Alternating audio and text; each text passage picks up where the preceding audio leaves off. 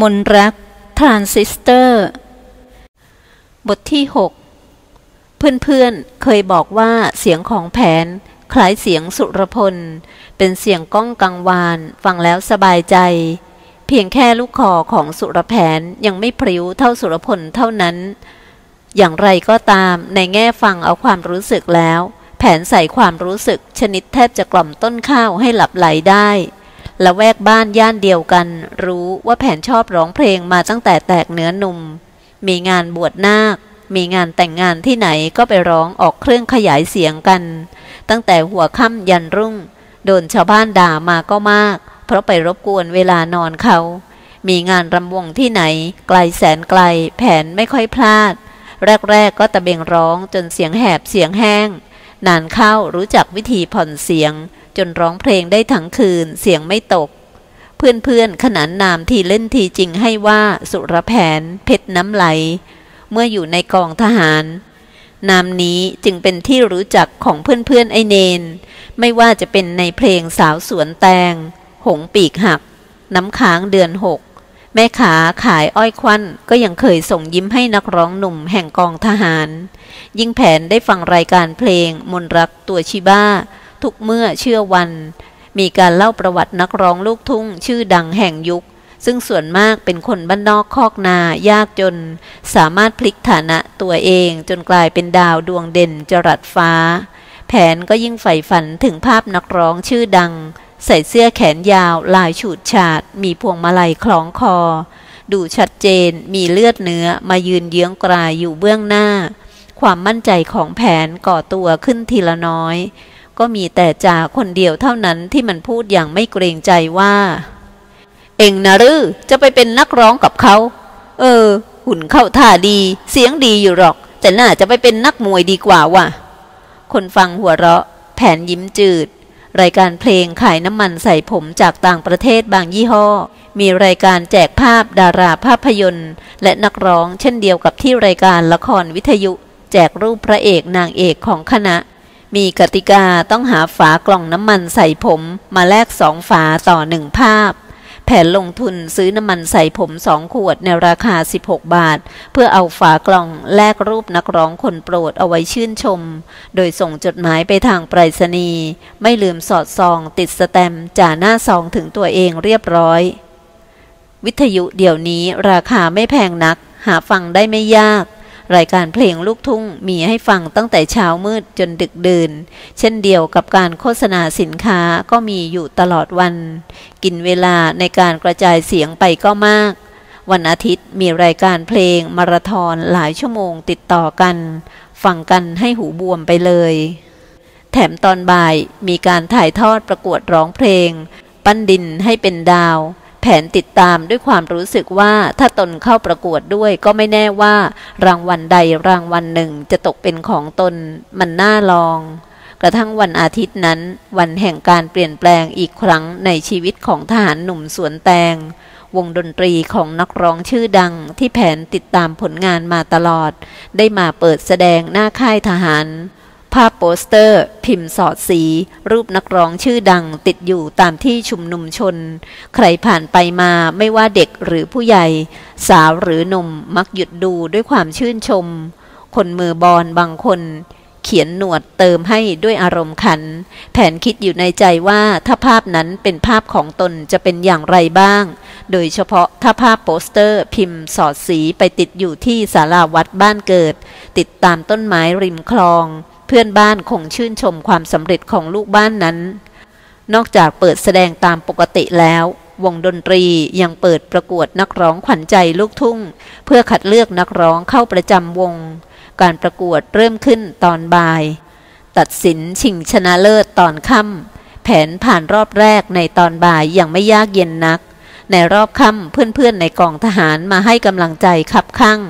บัตรผ่านประตูขายหมดเกลี้ยงตั้งแต่หัวค่ำ เหตุผลที่แท้จริงของการจัดประกวดนักร้องน่าจะอยู่ตรงนี้ เพราะนักร้องแต่ละคนมีพักพวกคอยเชียร์คนละไม่น้อย บางคนค่อนข้างกระเป๋าหนัก ขึ้นประกวดเพียงเพื่อได้โชว์หุ่นบนเวที หรือไม่ก็เรียกความสนใจจากเพศตรงข้าม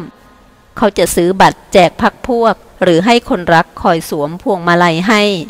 การร้องในรอบชิงชนะเลิศ เหลือนักร้องเด็ดๆไม่กี่คน ต้องร้องเข้าดนตรีเสียด้วย แผนเลือกเพลงอยู่หลายเพลง จะเข้าร้องในรอบชิงชนะเลิศ เพลงที่เคยเคยร้องกลับไม่ค่อยมั่นใจ บางเพลงรู้สึกชอบและอยากร้องจนบอกไม่ถูก ก็ไม่แน่ว่าจะเหมาะกับน้ำเสียงของตนหรือไม่แต่ยังไงยังไงก็จะลองร้องเพลงที่ให้อารมณ์เพลงดูตามที่เพื่อนแนะนำเมื่อโฆษณาขานชื่อสุรแผนเพชรน้ำไหล คนหัวเราะคิกคักกับชื่อแปลกหู แผนขาสั่น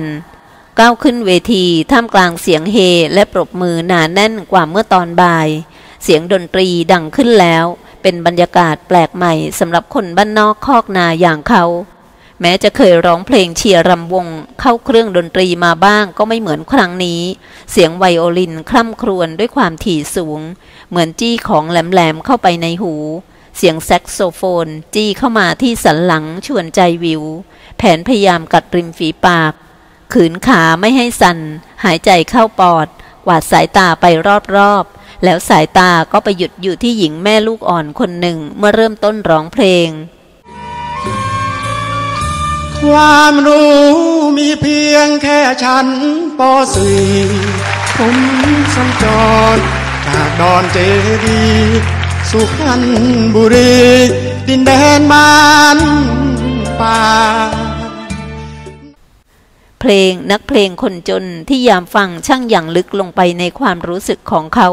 คิดถึงบ้านป่า คิดถึงเมียรัก แม่สาวใส่เสื้อสีฟ้า พาหัวใจข้าบินไปบนฟ้า ความหวานชื่นแต่ก่อนเก่าเป็นภาพหลอกหลอนความรู้สึก เขาจากเมียรักมาเมื่อนางใกล้คลอด ใครจะคอยช่วยเหลือนาง ใครจะคอยดูแลนาง ดูแลไร่แตง ความรู้สึกหลั่งไหลลงในเสียงเพลงอันเอื่อย อ้อยส้อย มันอาจไม่ใช่เพลงในลีลาสุรพลที่เขาเคยถนัด แต่ลีลาชีวิตของมันตรงใจเขาเหลือเกิน มันกลายเป็นบทเพลงที่มีเลือดเนื้อ มีชีวิต เป็นภาพซ้อนอยู่เบื้องหลังเพลงเหล่านั้น ผู้คนนั่งฟังน้ำเสียงของแผนด้วยใจสะท้อน แววตาเคลิ้มคล้อยไปกับเสียงเพลง เหมือนกำลังดูภาพยนตร์ชีวิตเรื่องหนึ่ง แผนจบเพลงพร้อมน้ำตาซึม แต่เสียงปรบมือดังสนั่นยาวนาน ชื่อสุรแผนเพชรน้ำไหล ได้รับการตัดสินให้เป็นรองชนะเลิศ แพ้นักร้องหญิง ร่างขาวอวบอัดไปเพียงครึ่งคะแนนด้วยเรื่องจังหวะ ทั้งผู้ชนะ และรองชนะเลิศจะได้เข้าสังกัดดนตรีคณะนี้ได้ โอกาสที่ใฝ่ฝันมาถึงแล้ว แผนตัดสินใจเก็บข้าวของส่วนตัวใส่กระเป๋าสีเขียวขี้ม้า หลบออกจากกองทหารไปกับวงดนตรี มุ่งสู่กรุงเทพมหานคร ฝันเห็นภาพตัวเองถูกตีพิมพ์เป็นภาพโปสเตอร์ สอดสีสวยงาม เมื่อรถเดินทางถึงกรุงเทพมาจอดอยู่ที่สำนักงาน ซึ่งอยู่ในซอยแห่งหนึ่งใกล้สถานีขนส่งสายใต้ แผนอย่างตื่นตาตื่นใจ ดูนั่นดูนี่ ขณะที่นักร้องนักดนตรีพากันขึ้นไปนอนชั้นบน บางคนก็กลับขึ้นไปนอนบ้าน ดูไม่ค่อยสนใจ คนบ้านนอกท่าทางเงอะงะอย่างเขานัก แผนครึ่งนั่งครึ่งนอนบนเก้าอี้ที่เอามาเรียงต่อกันหลับไป เย็นวันต่อมา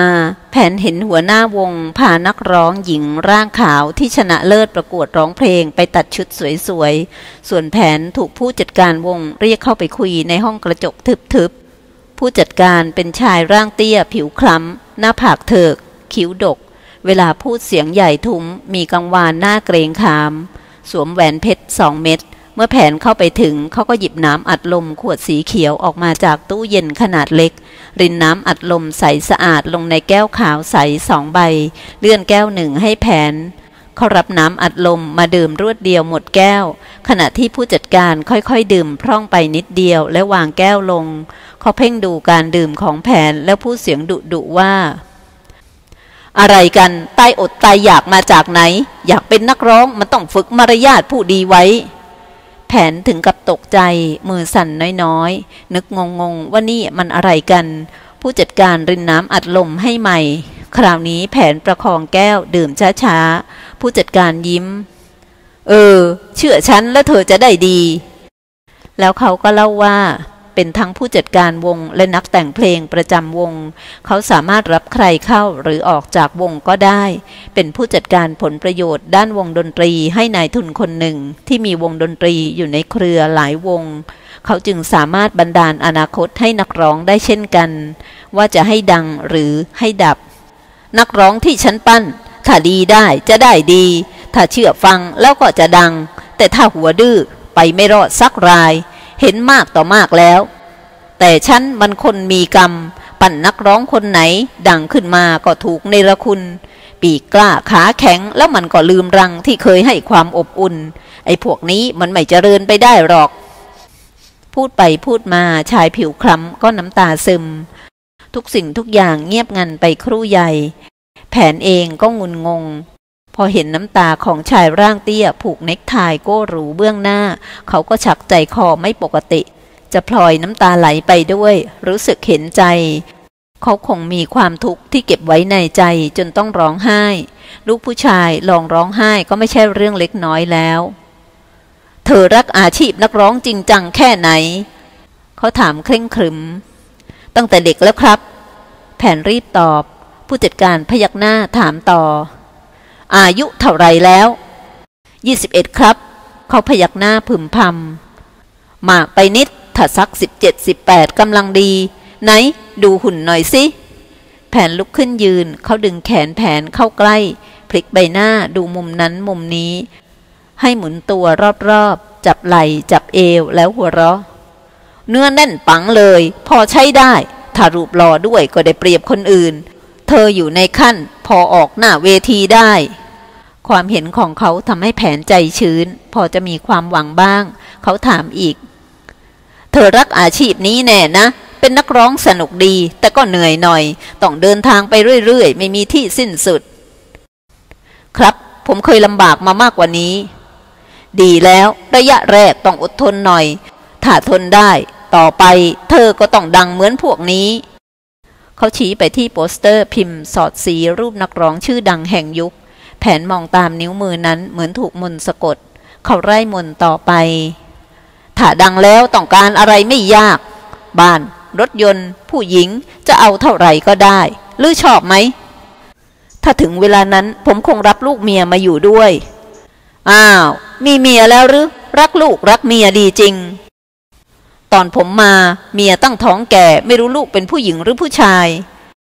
แผนทำท่าจะพูดยืดยาวต่อไป เขารีบตัดบท เอาละ อยู่ที่นี่ไปก่อน สักพักหนึ่งค่อยไปอยู่บ้านฉันก็ได้ อย่าลืม ถ้าดีได้ เชื่อฟังฉัน ไม่เกเรก็จะได้ดี ฉันไม่ชอบคนหัวแข็ง เรียกฉันว่าพ่อก็ได้ ว่าแล้วผู้จัดการก็เข้ามาโอบไหล่เอ็นศีรษะเคลียร์ไปมาจนแผนจักรจี้ ครับพ่อ ตั้งแต่เกิดผมเองไม่เคยเนรคุณใคร พ่อช่วยเหลือผมครั้งนี้ ผมจะไม่ลืมบุญคุณเลย